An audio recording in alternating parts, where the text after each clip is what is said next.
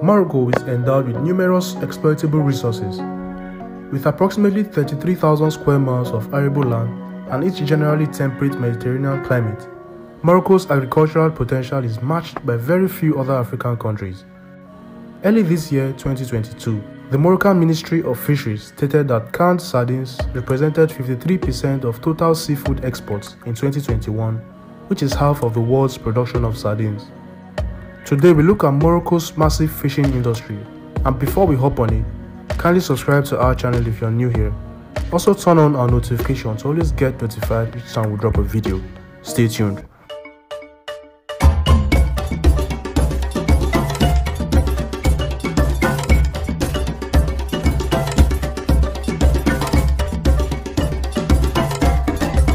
For a long time, Morocco's fishing industry has been an economic pillar for the country.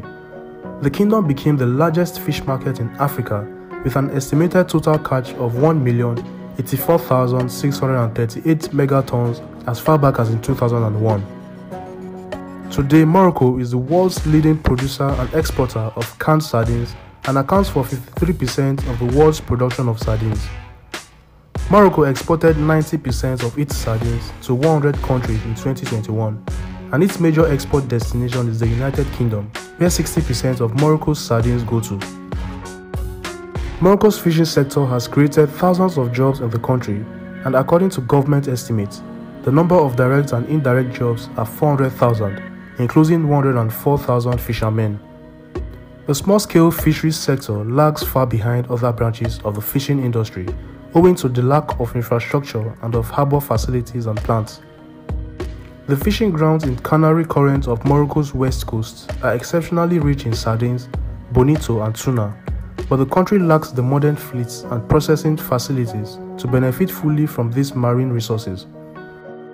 An important part of major trade agreement Morocco concluded with the European Union in 1996 concerned fishing rights by which the EU pays Morocco an annual fee to allow vessels, mainly Spanish, to fish Moroccan waters in exchange for an economic compensation program which the National Fishery Office of Morocco till date uses to boost modernization and enhancement of its domestic fishery sector.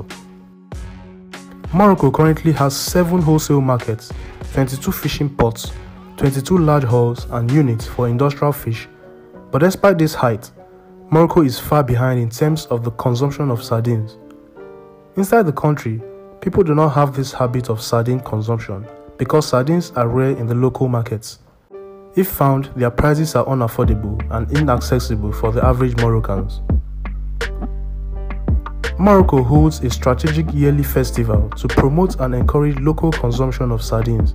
The Sardine Festival aims to promote local consumption of fresh sardines and to highlight its values as a flagship for the national fish production, as well as to raise awareness about the benefits of sardines to health.